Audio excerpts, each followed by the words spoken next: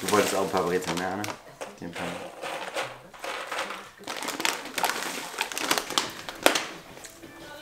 Guck her.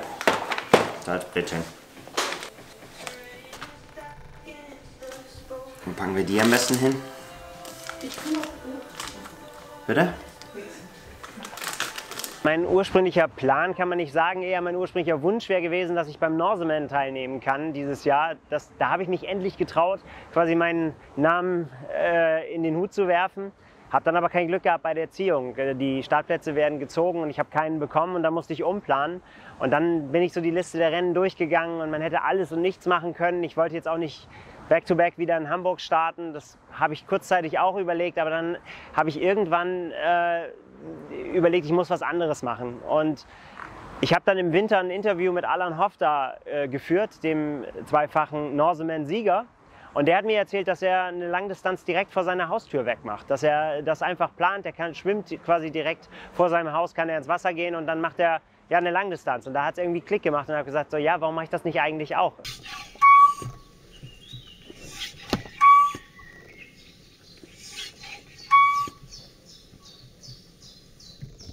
Wie viel bar werden's? 5,1. knapp, knapp übers Ziel. Kommt ein wenig vor, haut aber hin.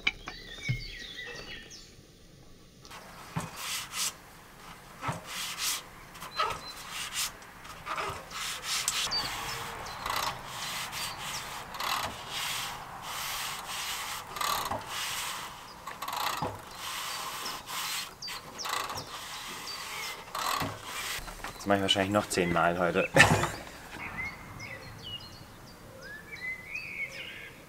Ja, 180 Funktioniert. Kilometer, freust du dich? Ich freue mich, ja. Ich habe ein bisschen Angst auch, aber tatsächlich freue ich mich.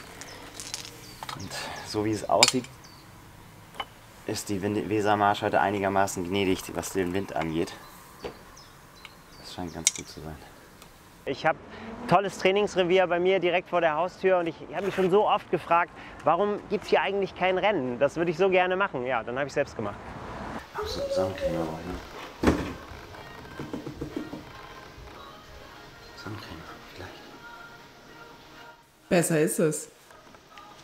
Es wird sonnig. Ja, stimmt. Habe ich eine Garage.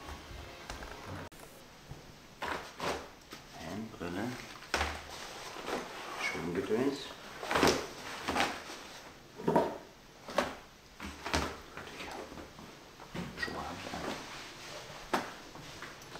Habe ich. Abrad.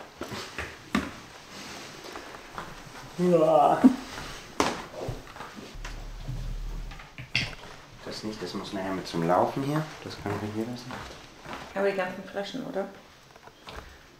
Die nehmen wir jetzt erstmal mit, ja. Die sind dann aber auch zum Teil nachher laufen. Man muss das Thema Verpflegung ja komplett selbst angehen. Es gibt keine Verpflegungsstellen, es gibt keine Toilettenhäuschen, wo man anhalten kann. Dafür muss man halt sich irgendwie einen Plan zurechtlegen. Aber das hat im Nachhinein alles sehr, sehr gut funktioniert. Gut, dann packen wir jetzt das Rad ein und dann den Rest oben drauf. Los geht's.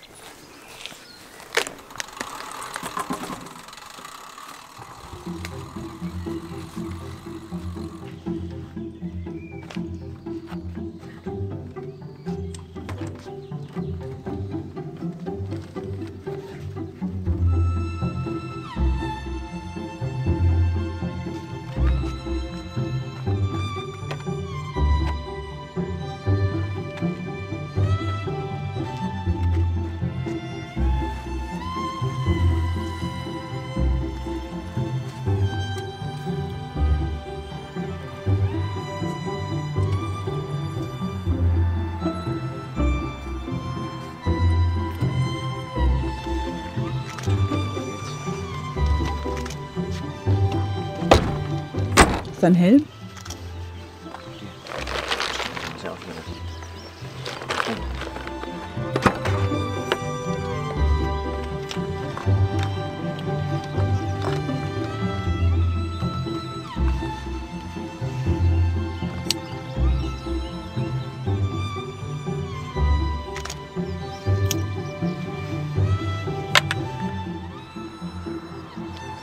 Gut. Ich würde sagen, Wechselzone geschlossen. Bitte begeben Sie sich zum Schwimmstart. Ich finde, eine Langdistanz an sich zu machen, ist, ist ja schon was, wo man, ja, wo man all in gehen muss eigentlich mit seinen Mitteln, die man hat. So, ne? Da- das, das Bewusstsein habe ich dann durchaus auch, dass ich einfach mein Training durchziehen muss. Angefangen zu trainieren habe ich ja, nach noch einer Urlaubsphase letztes Jahr im Oktober, habe ich dann wirklich mit dem November, im 1. November wieder angefangen mit strukturiertem Training. Denkst du jetzt gerade nur ans Schwimmen oder schon ans andere? Nee, erstmal nur. Immer eins nach dem anderen.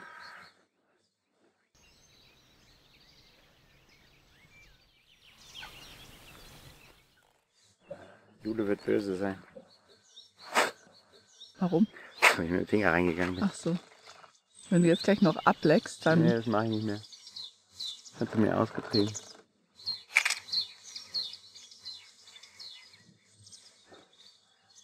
Oh, da hinten ist tatsächlich ein Camp, glaube ich.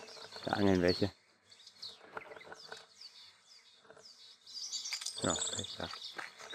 Also der Ort war im Prinzip direkt von Anfang an festgezurrt, weil das ist mein See, Hohenbökener See oder Sielingsee, wie, auch, wie er auch genannt wird, ist ein Ort, äh, der ja einfach der Badesee schlechthin da in der in meiner Region ist und im Moment ist da halt noch niemand. So früh am äh, Jahr und äh, da spielt auch das Wetter sicherlich eine Rolle. Die Badesaison mag jetzt gerade erst oder fängt jetzt gerade erst an.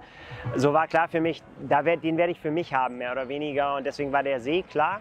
Auf dem See äh, wusste ich, dass es ein paar Bojen gibt und da habe ich dann am Anfang noch verschiedene Sachen ausprobiert. Nur hin und her schwimmen zwischen zwei Bojen, mm, ja, eine andere Formation. Ich habe mich am Ende letztendlich für ein Dreieck entschieden, weil das so von der Orientierung für mich sehr, sehr gut war. Also konnte alle Bojen gut anschwimmen und das hat äh, sehr, sehr gut funktioniert. Wir sehen uns in knapp zwei Stunden wieder. Dann bis später. Viel Spaß, Nils.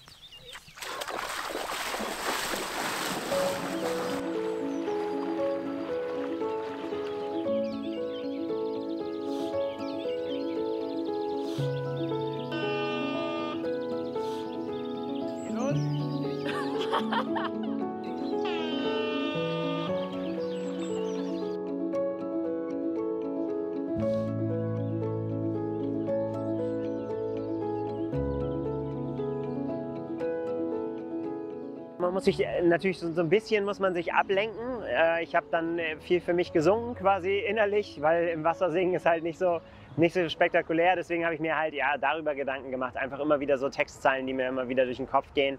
Das kann auch ganz unterschiedlich sein, was das dann so ist. Äh, das ist sicherlich das eine. Und man hat halt auch eine ganze Menge noch mit Orientierung zu tun. Ne? Das ist halt nur ein bisschen so ein kleiner Nachteil im Vergleich zu, zu einem Rennen, wo halt viele Leute um einen raus sind. Irgendeinen findet man immer, der vielleicht einen Tick schneller ist, als, als man selber gerade selber schwimmen würde, aber der immer noch langsam genug ist, dass man dranbleiben kann. Und dann hat man einfach diese berühmten guten Beine, guten Füße, an die man sich hängen kann, Kopf ausschalten und dranbleiben. Das war mir jetzt nicht vergönnt und von daher war das so eine, so eine kleine Herausforderung, da immer wieder hoch zu gucken, alle paar Züge, um dann auch nicht zu viel Zickzack einzubauen.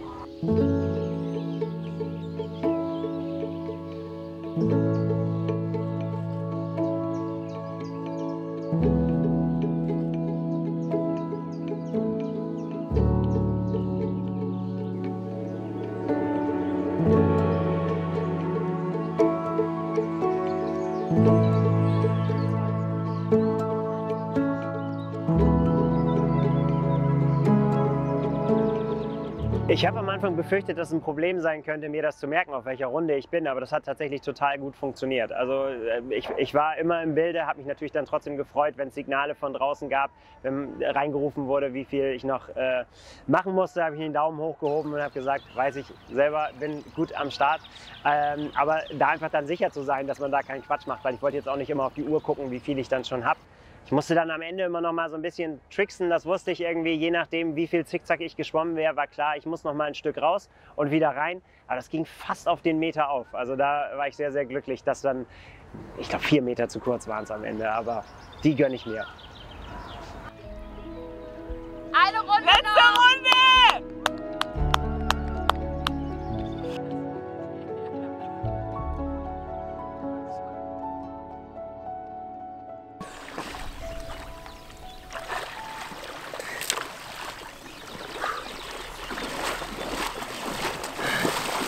Geschafft! Wie war's? Besser als erwartet. Mal gucken. Sehr gut. Langsamer als erwartet. Egal, ey, du hast doch gesagt 1,45. Ja, das passt genau. Ja, schau. Also. So, weiter geht's. Hast du die Distanz? 3,756 oder so. Ja, Short. ist ja perfekt, passt ja. Ja.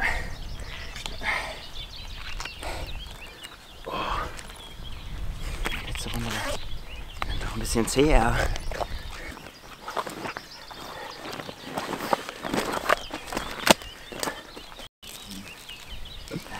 Ich würde fast so weit gehen, dass das das beste Schwimmen war, was ich jemals hatte, obwohl es äh, überhaupt nicht das schnellste war. Aber ich war zum ersten Mal, dass ich aus dem Wasser gekommen bin und nicht erst mal gucken musste, dass mir der Kopf schwirrt, dass mir die Beine wegknicken. Äh, Das ist tatsächlich was, was ich gemerkt habe. Auch in, in der Vergangenheit musste ich dann doch öfter mal Brust schwimmen. Und ich habe es jetzt tatsächlich mal geschafft, wirklich vernünftig durchzukraulen. Und ja, es war am Ende langsamer auch als, äh, als das, was ich vielleicht ja, mit, mit guten Beinen vor mir hätte schaffen können. Ah, ist das hier. Ja, ich darf dir leider nicht helfen. Ja, das ist Regeln sind Regeln. Regeln sind Regeln. DTU guckt zu. Aber wir haben ja auch noch ein bisschen Wechselzone vor uns. Das hier für eine Ja. Was jetzt?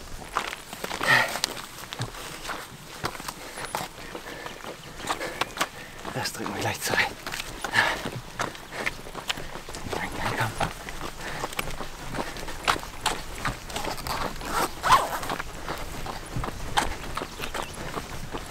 Aber in der Sonne ist ganz warm. Ist noch was drüber, oder? Ich glaube nicht. Ich glaube, ich robbel das eben trocken gleich.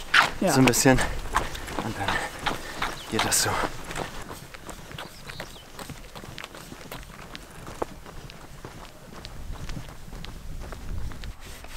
Kann nicht sagen, was hätte ich gemacht, wenn ich wirklich verletzt gewesen wäre. Was hätte ich gemacht, wenn Hagel angesagt gewesen wäre.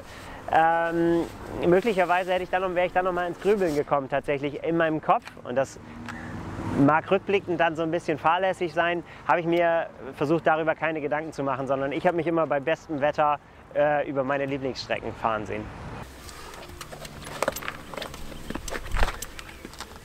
Kam dir beim Schwimmen schon mal der Gedanke, wie irre das alles ist? Nee, überhaupt nicht. Ich fand es echt ziemlich cool. Letzte Runde war ein bisschen zäh.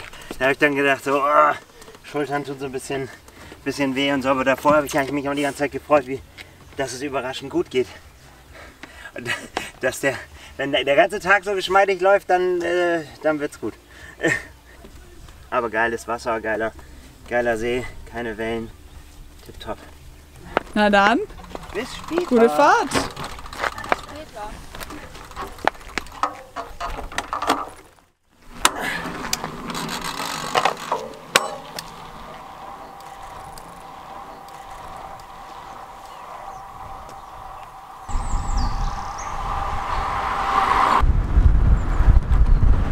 Ich habe bei der Planung der Radstrecke schon immer versucht, irgendwie äh, auf meinen Strecken zu bleiben, auf denen ich sonst auch so unterwegs bin und mir davon aber das Beste rauszusuchen, was ich auf einem möglichst kleinen Raum unterbringen kann. Und habe dann immer versucht, mir noch Strecken rauszusuchen und Abschnitte, äh, wo ich viel auf dem Radweg fahren kann, aber dann eben auf guten Radwegen und nicht auf ja, Wurzel, Wurzelpisten, da die komplett äh, durchzogen sind oder viel Schotter. Da habe ich dann schon versucht, irgendwie eine Mischung zu finden. Ja, guter Asphalt und der war tatsächlich teilweise auf den Radwegen besser als auf der Straße. Von daher hat das gut funktioniert.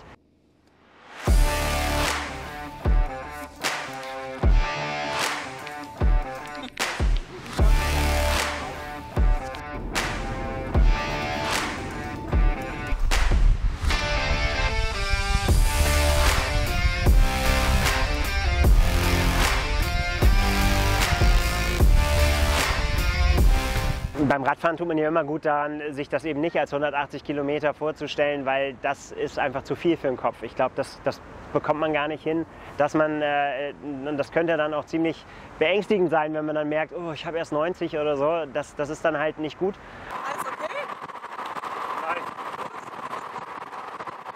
Deswegen schon klar Runde für Runde und dann aber auch trotzdem ähm, ja ein Stück weit auch nach dem Gefühl. Ich bin ohne Powermeter gefahren, habe einfach gesagt, ich will das einfach so fahren, wie ich mir das zutraue und äh, wie das auch mit den Bedingungen letztendlich äh, funktioniert. Denn das ist mh, gerade ja bei uns hier im Norden ist halt der Wind häufig ein Faktor. Und äh, ja, wenn der ungünstig kommt, dann kann das einem auch irgendwelche Zeitplanungen und so weiter schon ziemlich zerschießen. Deswegen habe ich mich davon komplett frei gemacht und habe gesagt, ich fahre das einfach so, wie sich das gut anfühlt und gehe das dann Runde für Runde an. Und äh, so habe ich es dann letztendlich auch gemacht. Das war Runde Nummer 1. Ja, schon geschafft, ey. Er hat jedes Mal rot. Er hat vorhin schon rot.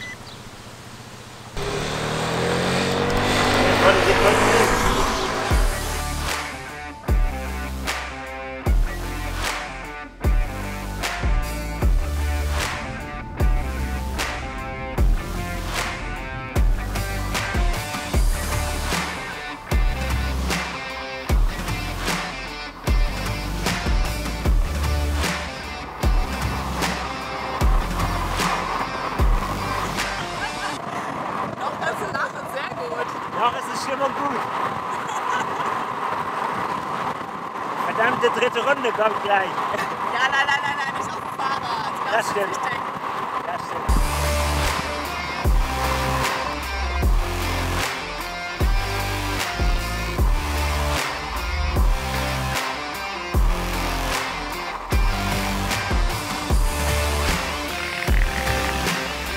Dass Anna dann auf der dritten Runde mich begleitet hat, war eine unheimliche Hilfe. Sie ist dann zwar tatsächlich ja nur hinter mir gefahren, aber allein eben das zu wissen, dass sie da ist, dass, äh, ja, dass man nochmal eine Begleitung hat, auch irgendwie, dass man im Kopf nochmal vorausfährt und quasi ja, die Strecke präsentiert quasi so, nochmal zeigt, wie schön das da ist und äh, was für eine tolle Radrunde war. Das hat mir ähm, auf jeden Fall dahingehend sehr geholfen im Kopf, dass das einfach auch nochmal was komplett anderes war als die zweite Runde zum Beispiel.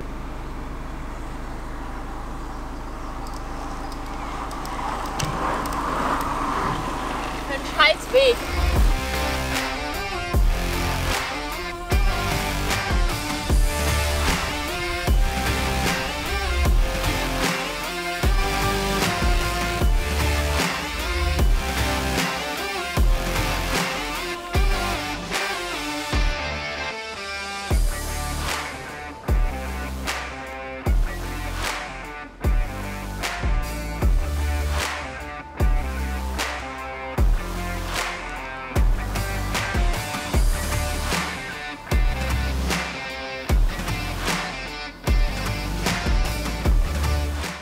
Motivierend war es auf jeden Fall zu wissen äh, oder gefühlt zu wissen, dass man schneller, also dass ich schneller unterwegs bin als in Hamburg.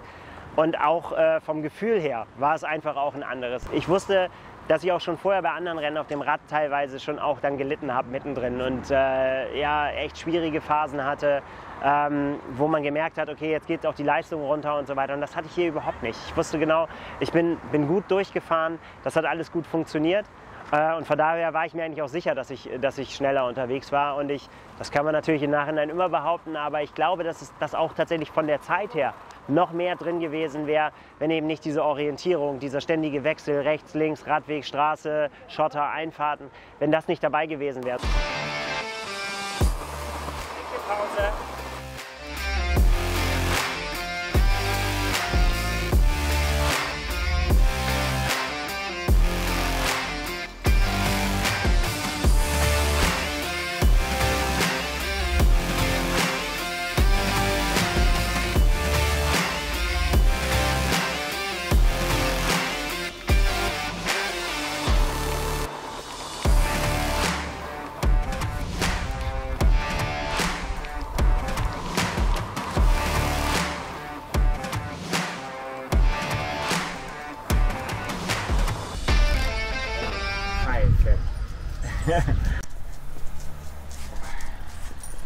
Letzten zehn waren brutal anstrengend, total mega Gegenwind und äh, naja, egal.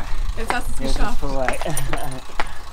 Dann da irgendwie letztendlich auf dem Hof zu fahren, ist so ein bisschen so ein zweischneidiges Schwert. Auf der einen Seite ist das natürlich immer der Move, den man normalerweise hat. Der Tag ist vorbei, man hat ja auch schon genug getan. 180 Kilometer Radfahren wären ja auch genug gewesen. Dann nochmal zu sagen, ich laufe jetzt los.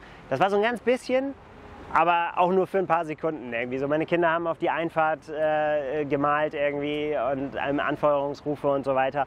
Und ja, dann, dann, dann ist es einfach schön. Man kann noch ein bisschen quatschen. Stimmung war gut. Mein Sohn hat immer gesagt, jetzt quatsch ich so lange, seh mal zu, dass du wieder ans Laufen kommst. Die Zeit läuft.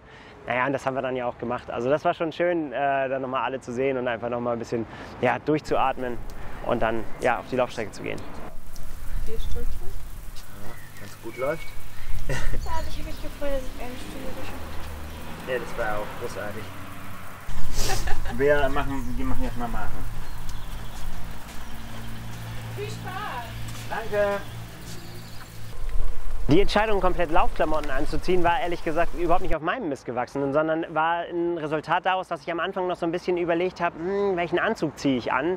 Ähm, den, den ich dann letztendlich auf dem Rad getragen habe, der funktioniert fantastisch für mich beim Radfahren. Ich habe aber auch schon ah, beim Laufen so ein bisschen das Gefühl gehabt, das könnte auch mal einengen. Und äh, das habe ich so befürchtet. Und dann in, in dem Zuge ähm, kam dann irgendwann die Idee auf, ja, man kann sich ja auch komplett umziehen, was ich bei einem normalen Rennen wahrscheinlich nicht machen würde oder auch nicht so auf dem Schirm hätte. Aber dadurch, dass die Wechselzone hier bei mir zu Hause war, war es überhaupt gar kein Problem. Und es hat sich äh, als so eine gute Idee herausgestellt, dass ich mir das auch durchaus jetzt für andere Rennen vorstellen kann. Jetzt Gegenwind. Ja, aber nur kurz. Und nachher nochmal, aber das ignorieren wir noch. Ich wollte auf jeden Fall an der Weser laufen, weil das, da, da mache ich meine, fast alle meine Trainingsläufe. Da kann ich mich absolut nicht dran satt sehen, immer aufs Wasser zu gucken beim Laufen, egal ob es lockere Läufe sind oder Intervalle. Das findet eigentlich fast immer da statt. Und dass ich eben letztendlich nicht mehrere Runden gemacht habe, dahinter steckte auch so ein bisschen die Sorge, dass äh, wenn es dann wirklich haarig wird und man läuft immer wieder an seinem Zuhause vorbei, dass dann äh, diese Tür, ja, durch die man einfach nur noch gehen muss und das Ganze hat ein Ende, die ist dann, dann schon ziemlich, ziemlich groß. Und deswegen habe ich gesagt, ich laufe so weit wie es geht an dieser Tür vorbei und dann äh, kommen diese Gedanken auch einfach gar nicht. Weser Gallery. Sightseeing Run. Besuchspunkt Nummer 1. Und die, als wir den Radweg hier gemacht haben, haben die irgendeinen Künstler eingeladen, irgendwie aus ganz Europa, glaube ich. Und äh, haben denen dann quasi so Abschnitte gegeben und die haben die dann verschönert. Ganz cool. Abgesehen von der Eastside Gallery, ziemlich einmalig in der Länge.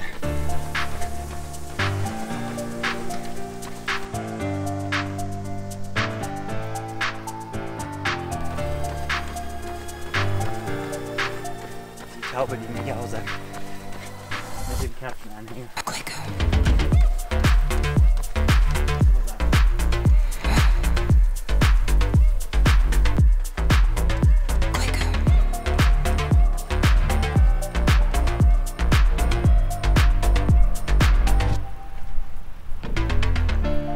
ist es so, man läuft mit dem Wind und dreht sich dann um und merkt, hups, ich hatte ja gerade Hilfe irgendwie so, da war gerade Rückenwind.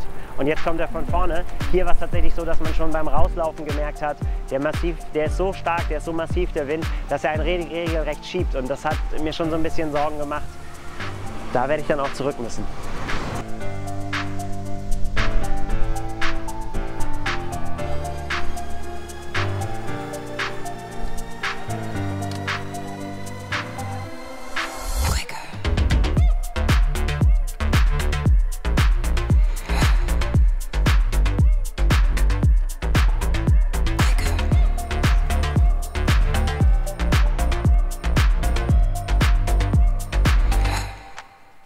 Anderen Seite die Stahlwerke zu sehen, das ist halt irgendwie, ich bin, äh, ich bin gebürtiger Bremer und da groß geworden, das ist halt Klöckner, Stahlwerke, das, das kennt jeder.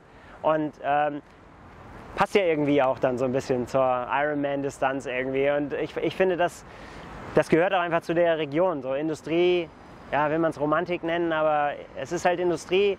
Es ist nicht mehr alles auf Hochglanz, es ist nicht alles poliert, es ist auch alles ein bisschen schroff. Aber das macht für mich die Schönheit da auch aus, letztendlich, und die Abwechslung.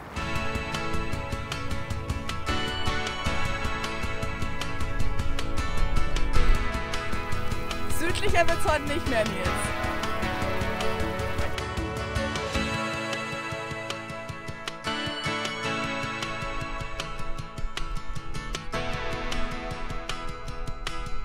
Never thought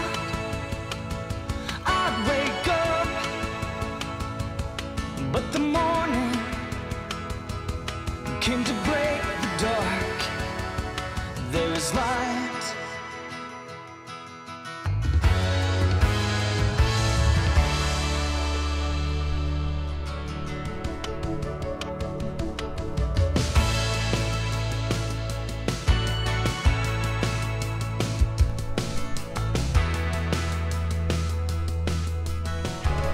Also dieses Stück dann zurücklaufen zu müssen und ähm, ja, eben nicht nur das erste Stück, sondern also wieder von da, wo wir kamen, sondern auch noch das, das zweite in die andere Richtung raus. Ähm, Wenn man das zusammenzählt, sind es fast 20 Kilometer mit Gegenwind. Nicht ganz, aber man kommt schon in diese Richtung. Und das wusste ich natürlich die ganze Zeit. Ich wusste, ich muss diese ganzen Stücke noch wieder zurück. Und der Wind wurde gefühlt immer stärker. Und das war schon mental dahingehend sehr, sehr, sehr schwierig, dass ich wusste, das lässt jetzt auch nicht mehr nach bis heute Abend, sondern das pustet mir jetzt, bis ich zum abschließenden Wendepunkt komme, pustet mir das ins Gesicht. Es war noch so ein bisschen die Hoffnung da, wenn wir hinter den Deich wechseln, könnte es ein bisschen weniger werden. Wurde es leider nicht. Und das hat mental schon, schon echt Körner gekostet und vor allem körperlich. Also ich habe schon währenddessen gemerkt, wie es einfach wahnsinnig schwer ist, gegen diesen Wind anzulaufen. Die Pace ging runter und das hat so viel Kraft gekostet. Ich weiß nicht, ob das vielleicht dieses Stück im Gegenwind tatsächlich zu den härtesten Dingen gehört, die ich im Sport bisher gemacht habe. Ich würde dir noch einen Riegel anbieten. Oh je. Der ist erstmal hier. Danke. Aber hast du das Gefühl, du musst dich übergeben? Aber vielleicht will es helfen. Ja, das geht nicht, glaube ich. Das wieder genau die gleiche Scheiße wie letztes Jahr.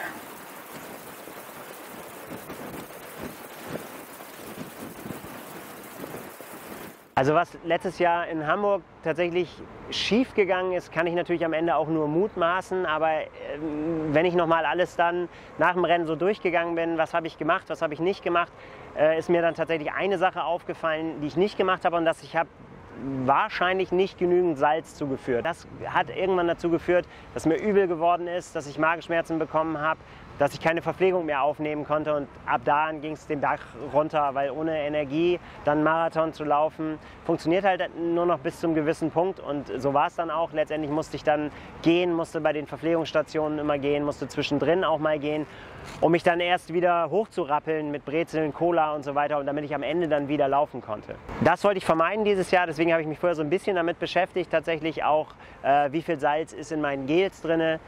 In den Varianten, wo nicht so viel drin ist, äh, muss- habe ich noch was zugesetzt, um einfach zu sagen, okay, ich vermeide halt dieses Szenario, ich versuche zu gucken, ist es das?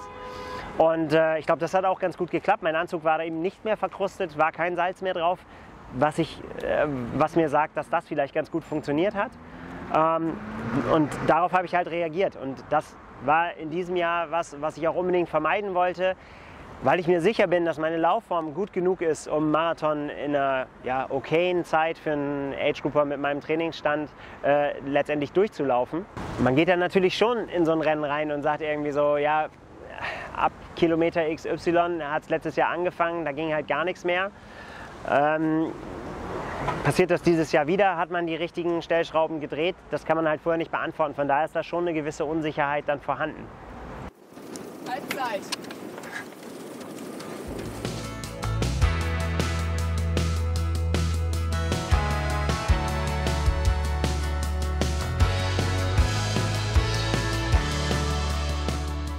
Letztendlich war es dann so, dass ich quasi fast am selben Punkt wie letztes Jahr in Hamburg Probleme bekommen habe und äh, dass es mir richtig dreckig ging.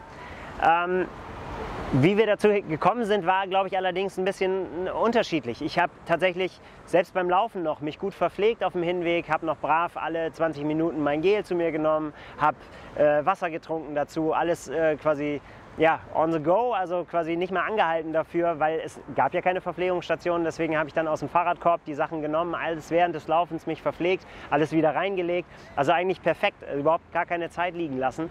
Und das war, war auch alles gut. Vielleicht hat dann beim Laufen im Gegenwind, hätte ich vielleicht schon ein bisschen früher damit anfangen sollen, öfter mal auch dann wieder als Gel nicht mehr so gut ging, auch schon früher ja, andere Sachen auszuprobieren bei der Ernährung. Ich habe dann einfach, weil ja kein Angebot da war, keine Verpflegungsstationen da waren, einfach mir nur so Kilometer runtergezählt. Und vielleicht dann tatsächlich wirklich ein bisschen spät darauf reagiert, äh, zu sagen, ich muss jetzt, wenn ich kein Gel mehr habe, brauche ich irgendwie Brezeln, brauche ich jetzt irgendwie Cola. Das habe ich dann letztendlich irgendwann später zu meiner Taktik gemacht, aber vielleicht ein bisschen zu spät. Und ich glaube halt diese Kilometer dazwischen mit diesem massiven Gegenwind, die haben mich so ausgezehrt, dass dann einfach die Energie weg war.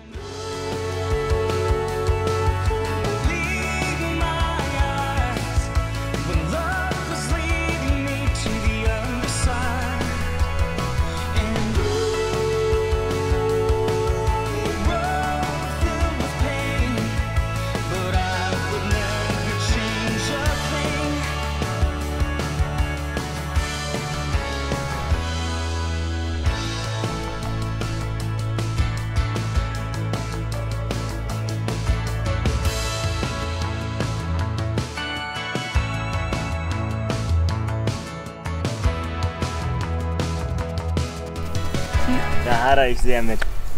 Mit dem Wind. Wie viel Körner das gekostet hat gerade. Oh, Wahnsinn.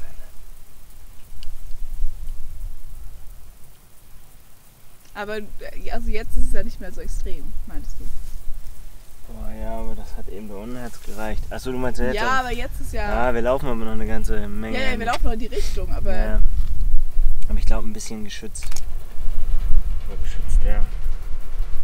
Ich habe mir auch selber gedacht, in dem Moment, wo du jetzt hier Gehpassagen einbaust, wird es unfassbar schwer, das wieder in Laufen umzumünzen, weil man kommt ja irgendwie vorwärts und man weiß ja auch, man legt Kilometer zurück.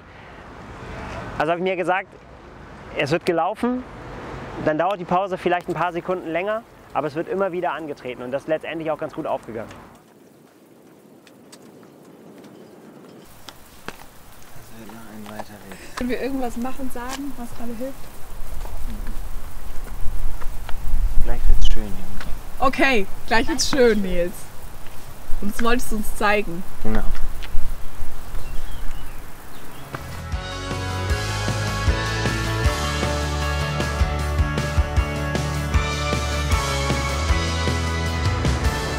Ansonsten auf dem Rückweg äh, haben wir da in Lemberda, glaube ich, die Besonderheit, dass es, dass es gleich zwei Firmen mit Abe King und Rasmussen und Lürsen gibt, zwei Werften, die die größten Luxusjachten der Welt äh, bauen. Die werden halt da vor der Haustür gebaut und da liegt halt auch immer was. Ne? Da sind immer irgendwie Schiffe, an denen gearbeitet wird, die zur Reparatur kommen oder die dann ausge ausgeliefert werden irgendwann. Da gibt es halt unheimlich viel zu gucken.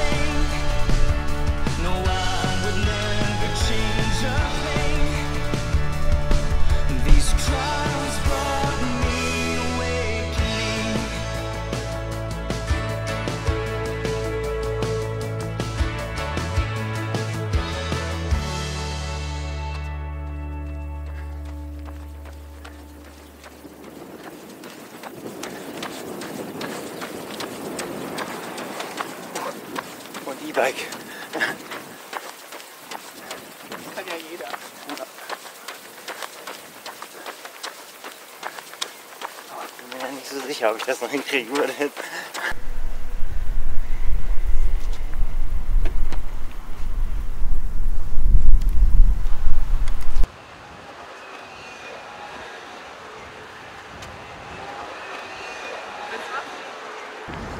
Ja, also diese Streckenangaben ist, äh, ist tatsächlich so ein bisschen so eine Krux gewesen, denn ich habe äh, auf der einen Seite wusste ich es natürlich irgendwie von, äh, von meiner Uhr, wie viel es noch sind. Und normalerweise kann ich mich daran ganz gut hochhangeln. Irgendwie so, wenn man tatsächlich so im, in einem Rennen, wenn man dann die Schilder sieht und sagt so, okay, bis zu dem Schild, bis zu dem Schild, das habe ich dann geschafft. Weil das so diese Marken sind, die man sich dann auch merken kann und wo man dann sagen kann, irgendwie so, okay, die habe ich hinter mir gelassen, das habe ich geschafft. Das hat diesmal irgendwie überhaupt nicht funktioniert, weil ich immer noch wusste, es ist eigentlich vollkommen egal, ob das jetzt 10 oder 15 oder 20 Kilometer sind, weil ich ja wusste, wie weit ist das noch, bis ich äh, wieder zum Wendepunkt komme. Und deswegen hat mir das in diesem Fall überhaupt nicht geholfen. Also wenn die Streckenkenntnis zu gut ist, dann helfen solche Marken offensichtlich bei mir nicht mehr. Letztendlich war der, der Wendepunkt ähm, die kleine Schifferkirche, in die wir dann natürlich nicht mehr reingegangen sind, aber die Bank davor, die hatte ich, die hatte ich schon als Ziel, sehr, sehr viele Kilometer. Ich wusste, irgendwann kommt diese Bank und dann kann ich mich da hinsetzen. So, eine Kerze anzünden. Bitte? ist, glaube ich, geschlossen schon. Wir sind zu spät.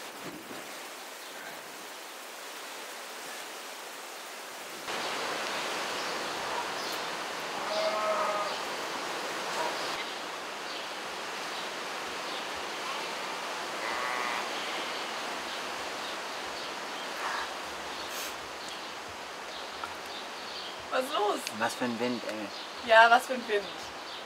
Aber der kommt bestimmt auch noch mal von hinten. Ja, ja.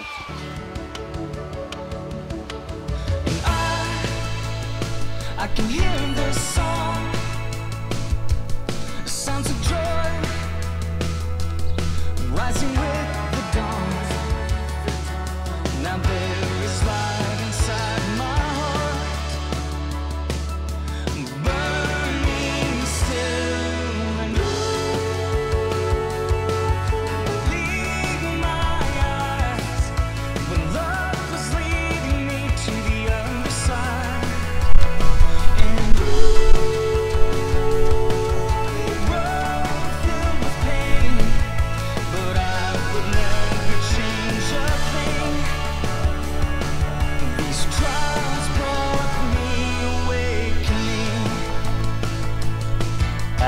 ist ja alles trotzdem nichts halbes und nichts Ganzes. Man muss ja durchlaufen können. Das ist, ist irgendwo was im Argen. Ja. Ich habe mich unterwegs natürlich dann gefragt, hast, hast du alles richtig gemacht und bin dann so ein bisschen so eine Checkliste durchgegangen. Verpflegung, ja, check, war alles gut. Also hat, hat gut funktioniert. Genug getrunken, hat funktioniert. Genug Salz zu, zu mir genommen, hat eigentlich alles funktioniert. Und trotzdem ging es dann irgendwann ja, sehr, sehr zäh und äh, ähm, wurde es dann auch echt schwer. Und das hat mich dann äh, fast schon so ein bisschen wütend gemacht unterwegs, weil ich gedacht habe, jetzt hast du mal einmal keinen Quatsch gemacht unterwegs und eigentlich dich an den Plan gehalten und alles so gemacht, wie du es dir gedacht hast. Und äh, äh, trotzdem funktioniert es jetzt nicht.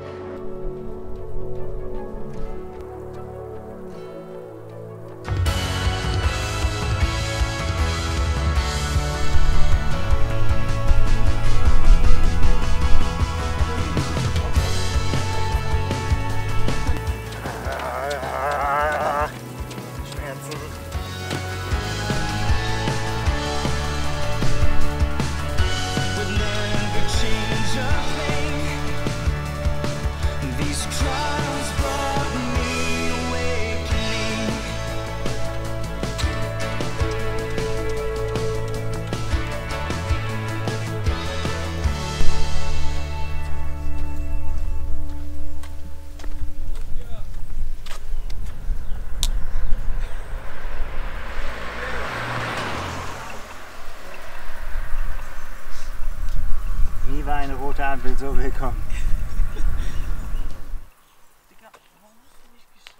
Ich wohne in der Nähe von einem, äh, von einem Teich, der, der irgendwann mal angelegt wurde als, ja, so als, als Naherholungsgebiet, würde ich jetzt sagen. Ich meine, als Erholungs, Erholungsgebiet im Dorf, als, als Park mit einem kleinen Weg drumherum. Und äh, den habe ich dann einfach nochmal genutzt, um zu sagen, okay, die letzten Kilometer, die es ja eigentlich sowieso nicht gibt, denn jeder denkt im Kopf sowieso bis Kilometer 40. Wenn die 40 steht, dann habe ich es geschafft. Und äh, der Rest muss irgendwie so gehen und der Rest war dann eben noch im Teich und da, äh, da wusste ich, ja gut, die drehe ich jetzt noch irgendwie ab und dann äh, erfreue ich mich daran, dass ich nochmal irgendwie mit meinen Kindern nochmal laufen kann, dass äh, ja irgendwie nochmal irgendwie diesen gewohnten Blick, bin ich auch schon so oft rumgelaufen, dass man den nochmal hat am Ende und dann weiß man auch irgendwann ist rum. Das ist natürlich eine unheimliche Stütze, wenn man dann sieht schon, ich habe zwar noch ein bisschen was vor mir, aber da stehen Leute, die auf mich warten, äh, die mich anfeuern, äh, mit, ja, die ich gleich in den Arm nehmen kann. Das ist halt einfach, äh, ja, das ist einfach ein schönes Gefühl, dass, dass da jemand äh, da ist und das zwingt einen dann auch fast so ein bisschen zu einem Lächeln. Ich meine, das ist ja was, was sowieso hilft. Ist mir ehrlich gesagt unterwegs ein bisschen schwer gefallen und habe es auch immer wieder vergessen, mich selber daran zu erinnern, dass es Spaß macht, dass man das freiwillig macht, dass man einfach, ja, dass so ein Lächeln einen einfach auch weiterhelfen kann. Und wenn das dann von ganz alleine kommt, weil die Leute da stehen, ja, dann sind die letzten Runden, dann sind die letzten Kilometer einfach auch nur so verflogen eigentlich. Letztendlich kann man es fast vergleichen wie mit einem großen Stadion-Einlauf, wo, äh, wo dann ja, Musik ist, wo wo man das einfach vorher auch visualisiert. Man sieht sich über eine Ziellinie laufen, man sieht die Zuschauer auf den Tribünen, man hört seinen Namen. Das, das hilft einem ja alles weiter im Training.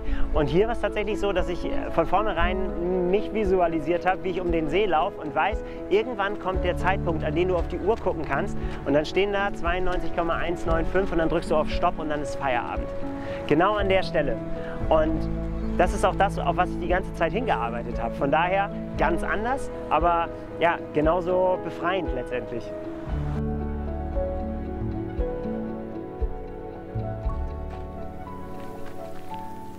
Was ist das? 42,2. Schön weg.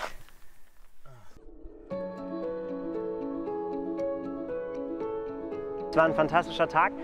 Er war härter als gedacht, aber letztendlich wegen der äußeren Bedingungen. Mental war es tatsächlich für mich überhaupt gar, kein, gar keine Frage. Also es ging wirklich überraschend gut. Äh, Das war natürlich auch was, was ich vorher überhaupt nicht wusste. Ne? Kommen dann vielleicht häufiger noch Gedanken daran auf, ah, das ist ja im Prinzip hier alles nur Training, das ist alles selbst organisiert. Das ist aber überhaupt nicht passiert. Von daher äh, war es eine fantastische Erfahrung, einfach auch das da machen zu können, wo ich einfach super, super gerne unterwegs bin. Ich, ich träume weiter davon, irgendwann beim Norseman teilzunehmen, auch wenn das nach, nach so einem Tag äh, schwer, noch viel schwerer vorstellbar ist, wie das gehen soll. Aber wenn man es dann weiß, dass man dabei ist, wenn man Platz hat, da, dann muss man vielleicht im Training auch noch mal ein bisschen was anders machen. Ähm, ansonsten würde ich einfach nicht so weit planen. Ich schließe das nicht aus, dass ich, äh, dass ich nächstes Jahr eine Langdistanz mache, habe aber auch keine konkret vor Augen. Es sei denn, der Startplatz winkt dann irgendwo bei der Auslosung. Im Oktober wird sie, glaube ich, sein. Dann müssen wir noch mal neu reden. Ah, Leute, so, ich laufe jetzt noch da hinten rum.